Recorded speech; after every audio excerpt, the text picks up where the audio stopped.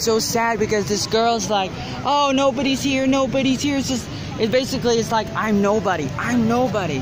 That girl, the girl, it's like, she says like, nobody's here, nobody's here. What about me? What about me? I'm nobody.